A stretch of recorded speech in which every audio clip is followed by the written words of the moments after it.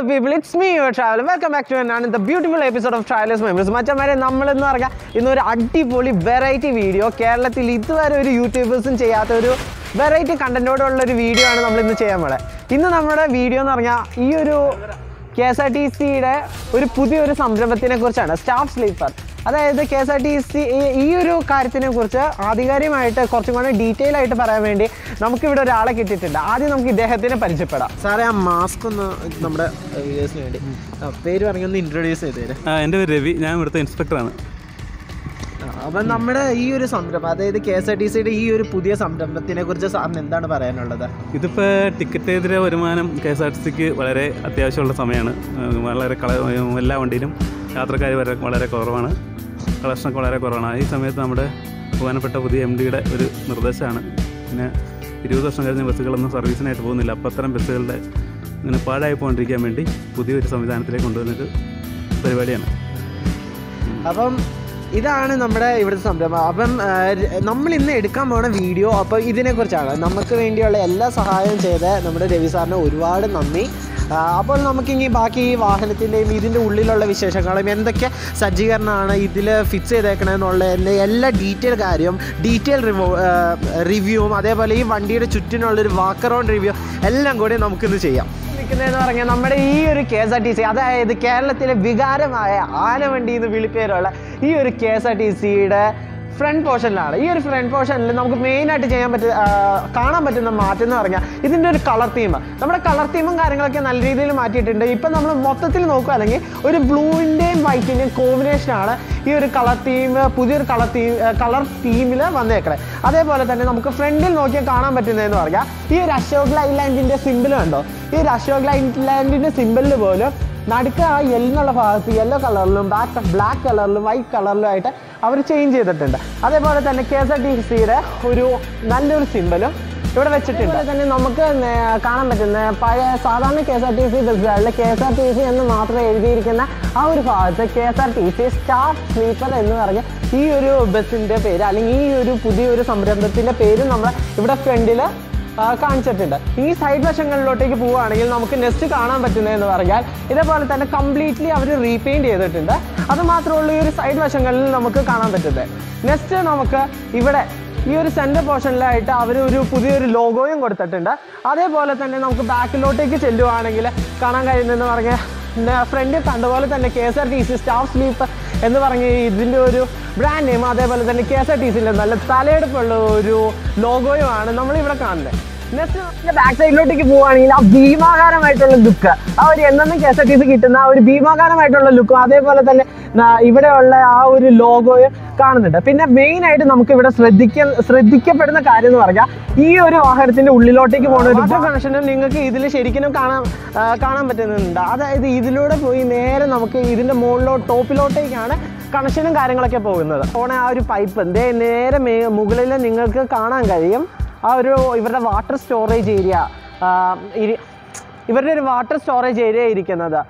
നല്ല രീതിയിൽ എന്നാ ഒട്ടും വൃത്തികേടാവാണ്ട് ഒരു ബ്ലാക്ക് ഫിനിഷോട് തന്നെ ടാങ്കിനെല്ലാം പെയിന്റ് കൊടുത്തിട്ടാണ് ഇവരുടെ വാട്ടർ സ്റ്റോറേജ് ഇരിക്കുന്നത്. അതേപോലെ തന്നെ നാനൂറ് ലിറ്ററോളം വാട്ടർ കപ്പാസിറ്റി ഉള്ള ഒരു സ്റ്റോറേജ് സ്പേസ് ആണ് നമ്മുടെ ഈ ഒരു വണ്ടിയുടെ മുകളിലായിട്ടേക്ക് ഇവർ ഫിക്സ് ചെയ്തേക്കണേ. എക്സ്റ്റീരിയൽ ആയിട്ടുള്ള കാര്യങ്ങളൊക്കെ ഇത്രയും നേരം നമ്മൾ ഈ ഒരു വാഹനത്തിന് കണ്ടു. അതേപോലെ തന്നെ ഇന്റീരിയൽ ആയിട്ടുള്ള കാര്യങ്ങൾ ചെയ്യാൻ വേണ്ടി നമ്മൾ ഇപ്പുറത്തെ സൈഡിലോട്ടേക്ക് വന്നേക്കുവാണ്. വേറെ ഒരു പ്രധാനപ്പെട്ട കാര്യം നിങ്ങളോട് പറയാൻ ഞാൻ മറന്നുപോയെന്ന് പറഞ്ഞാൽ നമ്മൾ ഈ ഒരു വീഡിയോ ചെയ്യുന്ന ഇവിടെ നിലവിൽ മൂന്നാറിൽ K S R T C Munnar ഡിപ്പോയിൽ വന്നിട്ടാണ്. അത് ഇവിടെ നിലവിൽ രണ്ട് വാഹനങ്ങളുണ്ട്.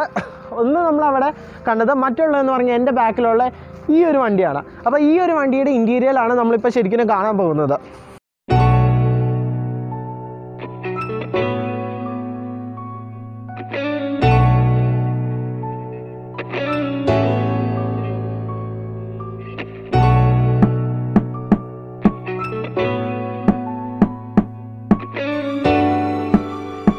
ഒരു വാഹനത്തിൽ അല്ലെങ്കിൽ നമ്മുടെ ഈ ഒരു മോട്ടോ ഹോമിന്റെ എൻട്രൻസ് ആണ് നിങ്ങൾ ഈ നേരിൽ നേരെ ഫ്രണ്ടിൽ കാണുന്നത് അതേപോലെ തന്നെ വേറൊരു കേസ് എന്ന് പറഞ്ഞാൽ നമ്മുടെ സാധാരണ ഉള്ള എല്ലാ K S R T C ആൾക്കും രണ്ട് ഡോറില്ലേ കയറി പോകാനും അതേപോലെ തന്നെ ഇറങ്ങി പോകാനും ഇതിൽ ബാക്കിൽ ഉള്ള ഈ ഒരു ഡോർ എന്ന് പറഞ്ഞാൽ ഇവിടെ സീൽ ചെയ്തേക്കുകയാണ് ഈ അതായത് ഈ ഒരു ഡോറ് നമുക്ക് ഒരു കാരണവശാലും തുറക്കാൻ പറ്റാത്ത രീതിയിൽ ഇവർ ഫുൾ സീൽ ചെയ്ത് ഇവിടെ ഒരു വിൻഡോയും കൂടെ ഫിറ്റ് ചെയ്തിട്ടുണ്ട്.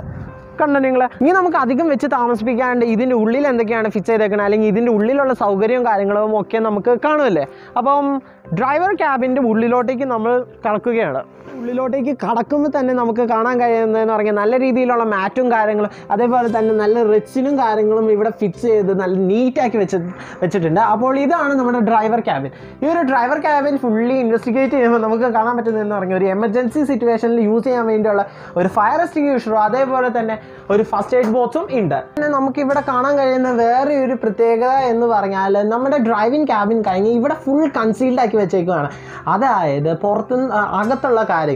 അല്ലെങ്കിൽ അകത്ത് താമസിക്കാൻ വരുന്ന ആൾക്കാർക്ക് കംപ്ലീറ്റ് പ്രൈവസി ഇവർ പ്രൊവൈഡ് ചെയ്തിട്ടുണ്ട്. In case of any emergency ഡ്രൈവർക്ക് ഉള്ളിലുള്ള എന്തെങ്കിലും കാര്യങ്ങൾക്ക് കാര്യങ്ങളായിട്ട് കോൺടാക്റ്റ് ചെയ്യണമെങ്കിൽ അല്ലെങ്കിൽ എന്തെങ്കിലും പറയണമെങ്കിൽ ഒരു ഗ്ലാസിന്റെ ഒരു ഇത് വെച്ചിട്ടുണ്ട്. അതേപോലെ തന്നെ അവിടെ ഒരു കണക്ഷനും കാര്യങ്ങളൊക്കെ പോയിട്ടുണ്ട്. അത് വാട്ടർ കണക്ഷന്റെ നോബാണെന്ന് തോന്നുന്നു. അത് എയർ വാട്ടർ പ്യൂരിഫയറിന്റെ നോബാണ് പിന്നെ വേറൊരു കേസ്. സാധാരണ എല്ലാ ലോ ഡോറുകളിലും നമുക്ക് ഈ ഒരു ലോക്കും കാര്യങ്ങളും കാണാൻ കഴിയുന്നത് ഈ ഒരു സൈഡിലായിരിക്കും. ഇത് കയറി വന്നു കഴിഞ്ഞ് നമുക്ക് തുറക്കാൻ ഉള്ള സൗകര്യം കാരണം ഇത് റൈറ്റ് സൈഡിലാണ് ഇവർ ഫിക്സ് ചെയ്തിരിക്കുന്നത്. മക്കളെ നമ്മുടെ പുതിയ കെ എസ് ആർ ടി സിയുടെ മോട്ടോ ഹോമിന്റെ ഇന്റീരിയേഴ്സിലോട്ടേക്ക് കടക്കുമ്പോൾ നമുക്ക് കാണാൻ കഴിയുന്ന ആ ഒരു ദൃശ്യം. നല്ല ബ്ലൂ കളറിൽ കംപ്ലീറ്റ് ബ്ലൂ കളറിൽ ഫിക്സ് ചെയ്തേക്കണ ഒരു ഇന്റീരിയലാണ് ഇന്റീരിയൽ സെറ്റപ്പാണ് നമുക്ക് ഇവിടെ കാണാൻ കഴിയുന്നത്. പേര് വരുന്നത് കാണുന്നതെന്ന് പറഞ്ഞാൽ നല്ല രീതിയിൽ ക്രമീകരിച്ചേക്കണ ഒരു വാഷിംഗ് ബേസ് ആണ്. ഈ വാഷിംഗ് ബേസിലോട്ടേക്കുള്ള വെള്ളവും കാര്യങ്ങളൊക്കെയാണ് നമ്മൾ മുന്നേ കണ്ടേക്കണ ആ ഒരു ടാങ്കിൽ നിന്ന് പറഞ്ഞത് അത് കഴിഞ്ഞിട്ട് നെക്സ്റ്റ് നമുക്ക് കാണാൻ പറ്റുന്ന ഒരു വാട്ടർ പ്യൂരിഫയർ ആണ്. നമുക്ക് വെള്ളം കുടിക്കേണ്ട ആവശ്യങ്ങൾക്ക് നമുക്ക് ഈ ഒരു വാട്ടർ പ്യൂരിഫയറിൽ നിന്ന് വെള്ളം എടുക്കാം. അതേപോലെ തന്നെ ഒരു എ സി നെക്സ്റ്റ് ഒരു ഫാന് പിന്നെ ഇതേപോലെ തന്നെ നമുക്ക് ഇവിടെ ഒരു ചാർജിങ് പ്ലഗും കുറച്ച് സ്വിച്ചും കാര്യങ്ങളൊക്കെ കൊടുത്തിട്ടുണ്ട്. അത് ഇതേപോലെ ഓരോ എന്നാ എന്തെങ്കിലും ഈ ഈ ഒരു ലൈ ഇങ്ങനത്തെ ലൈറ്റും കാര്യങ്ങൾക്കും വേണ്ടിയുള്ള കണക്ഷൻസും കാര്യങ്ങളുമാണ്. അതേപോലെ തന്നെ നിങ്ങൾ ഇപ്പം നോക്കി വെച്ചോ ഈ ഒരു കീസിന്റെയും കാര്യങ്ങളും എന്തിനാണ് ഈ ഒരു കീസ് എന്തിനാണ് ഇവിടെ വെച്ചേക്കണേ എന്നുള്ള കാര്യങ്ങൾ ഞാൻ നിങ്ങളോട് പറഞ്ഞുതരാം. ഇപ്പം നിങ്ങൾ ജസ്റ്റ് ഒന്ന് കണ്ടിരിക്കുക അത് കഴിഞ്ഞിട്ട് നമുക്ക് കാണിച്ചു തരാം. നമുക്ക് ഈ ഒരു കൊറോണ ടൈമിൽ വളരെ ഇമ്പോർട്ടന്റ് ആയിട്ട് വേണ്ട ഉള്ള ഒരു കാര്യം എന്താണ്? സാനിറ്റൈസർ ആണ്. അതിന്റെ ഒരു ഹാൻഡ് സാനിറ്റൈസറിന്റെ ഒരു ഓട്ടോമാറ്റിക് വേർഷനാണ് ഈ ഒരു സൈഡിലായിട്ടേക്ക് ഇവർ ഫിക്സ് ചെയ്ത് വെച്ചേക്കുന്നത് നെക്സ്റ്റ് നമുക്ക് നോക്കുമ്പോൾ ഇവിടെ ഒരു ഫോൾഡബിൾ ചെയർ ആണ്. ഫോൾഡബിൾ ടേബിൾ ആണ്. നമുക്ക് ആവശ്യമില്ലാത്ത സമയത്ത് ഈ ഒരു സംഭവം ഇവിടെ ഫോൾഡ് ചെയ്ത് വെക്കാം. അത് ആവശ്യമുള്ള സമയത്ത് ഇതേപോലെ ടേബിളായിട്ട് നമുക്ക് യൂസ് ചെയ്യാം. അതിന് വേണ്ടി ഇവർ നാല് സ്റ്റൂളും വെച്ചിട്ടുണ്ട്. ഇത് നല്ല രീതിയിലുള്ള ഒരു സ്പേസ് എന്നാ കൺസ് അധികം സ്പേസ് കൺസ്യൂം ചെയ്യാണ്ട് നല്ല രീതിയിൽ സ്പേസ് സേവ് ചെയ്ത് അവർ വെച്ചേക്കുന്ന ഒരു ഐഡിയ ആണ്. എന്തായാലും ഇത് വളരെ ഇഷ്ടപ്പെട്ടു. ഇതിന്റെ മുകളിലിരിക്കേണ്ട നമ്മുടെ ഹെൽമെറ്റ് തന്നെയാണ്. പിന്നെ നമുക്ക് നെക്സ്റ്റ് പോകാൻ എന്ന് പറഞ്ഞാൽ ഇതിന്റെ ബെഡും കാര്യങ്ങളൊക്കെ എങ്ങനെയാണ് ഇവരെ ഇത് സെറ്റ് ചെയ്ത് വെച്ചേക്കണേന്നൊക്കെ നമുക്ക് പോയി കാണാം.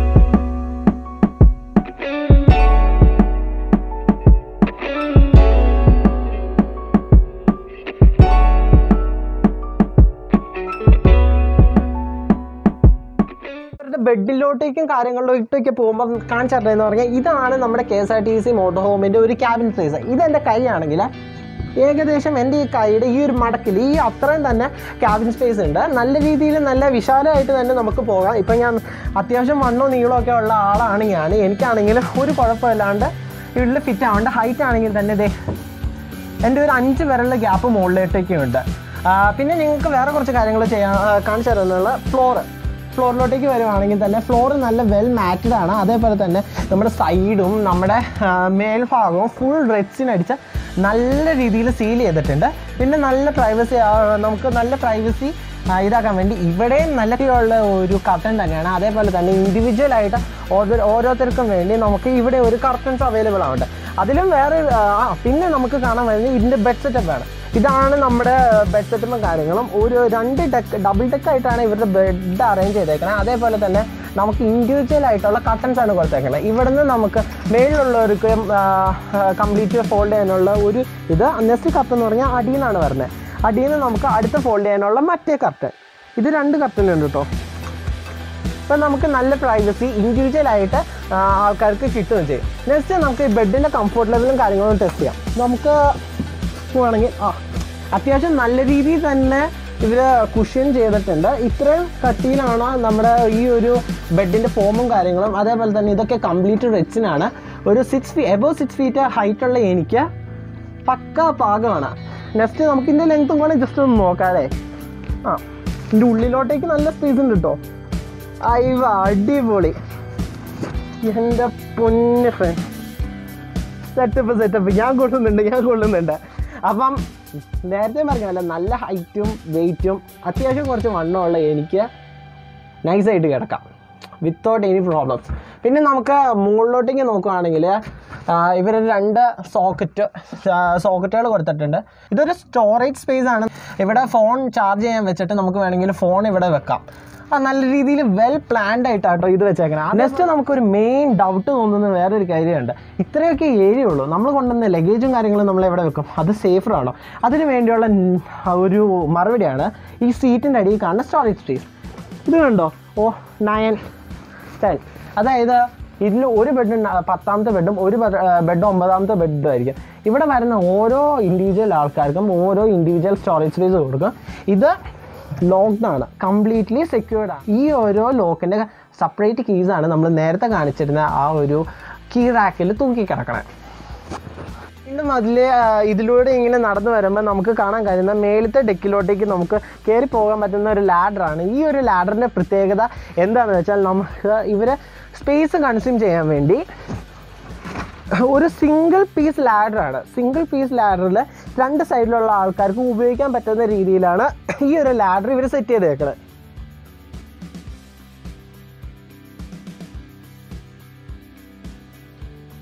അതേപോലെ തന്നെ ഇവിടെ നമുക്ക് കാണാൻ കഴിയുന്നതെന്ന് പറഞ്ഞാൽ രണ്ട് ക്യാബിൻ തമ്മിലുള്ള ഒരു ഡീവിയേഷനാണ് കാരണം നമുക്ക് ഇവിടുന്ന് ക്രോസ് ചെയ്ത് അങ്ങോട്ടേക്കോ അവിടുന്ന് ക്രോസ് ചെയ്ത് ഇങ്ങോട്ടേക്കാണ് പോകുന്നത് അതേപോലെ തന്നെ മുകളിലോട്ടേക്ക് നോക്കി നമ്മുടെ കെ എസ് ആർ ടി സിയുടെ ആ ഒരു എയർ വെന്റിലേഷൻ ഇത് ഇപ്പം നമുക്ക് പൊക്കാൻ പറ്റുന്നില്ല. അവർ മിക്കവാറും കൺസീൽഡ് ചെയ്ത് വെച്ചിട്ടുണ്ടാവും. കാരണം എ സിയും കാര്യങ്ങളും വർക്ക് ചെയ്യേണ്ട കാരണം പുറത്തുനിന്നുള്ള അറ്റ്മോസ്ഫിയർ ഇത് വരാണ്ടിരിക്കാൻ വേണ്ടി അവർ ഫുൾ ഇത് സീൽ ചെയ്ത് വെച്ചിട്ടുണ്ട്. നമുക്ക് അനക്കാനോ കാര്യങ്ങളൊന്നും പറ്റുന്ന അല്ല.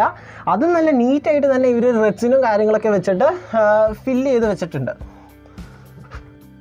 ഇത്രയും പെർഫെക്റ്റ് ആയിട്ടുള്ള ഈ ഒരു വർക്ക് കംപ്ലീറ്റ് ചെയ്ത് എല്ലാവരോടും എന്റെ വർക്ക് ഒരു അടിപൊളി ഹാൻഡ്സ് ഓഫ് പിന്നെ നമുക്ക് സ്റ്റാഫ് സ്ലീപ്പർ എന്ന് പറയുന്ന ഈ ഒരു ബസ് വൺ നൈറ്റ് റെന്റിന് എടുക്കാൻ വേണ്ടി വരുന്ന ഒരു ഫീസ് എന്ന് പറയുന്നത് വെറും വൺ തൗസൻഡ് സിക്സ് ഹൺഡ്രഡ് റുപ്പീസാണ് അതായത് പതിനാറ് ബെഡ് അടക്കം വിത്ത് എ സിയും ഇൻക്ലൂഡഡ് ആയിട്ടുള്ള ഈ ഒരു ബസ് നമുക്ക് ഒരു നൈറ്റിലേക്ക് ആയിരത്തി അറുന്നൂറ് രൂപയ്ക്കാണ് റെന്റിന് എടുക്കാൻ പറ്റുന്നത്. പിന്നെ നമുക്ക് ഒരാളായിട്ടും രണ്ടുപേരായിട്ടും ഒന്നും നിലവിലെ ഈ ഒരു സിറ്റുവേഷനിൽ അവർ അഫോർഡബിൾ ചെയ്തില്ല. കാരണം കൊറോണ ടൈമും കാര്യങ്ങളൊക്കെ ആണല്ലോ. അത് കഴിഞ്ഞിട്ട് എന്താണെന്ന് വെച്ചാലുള്ള ഒരു ഇത് വരും. പിന്നെ ഈ ആയിരത്തി അറുന്നൂറ് രൂപ എന്ന് പറഞ്ഞാൽ നിലവിൽ ഫിക്സ് ചെയ്തേക്കുന്ന ഒരു റേറ്റ് മാത്രമാണ് അത് നെഗോഷ്യബിൾ ആയിരിക്കും. കാരണം ഇത് പബ്ലിക്കിന് വേണ്ടി തുറന്നു കൊടുത്തിട്ടില്ല. നമുക്ക് ആ തുറന്നു കൊടുക്കുന്ന ടൈമിലും കാര്യങ്ങളും ഒക്കെ എന്തായാലും വന്ന് വീഡിയോ ചെയ്യുന്നതായിരിക്കും.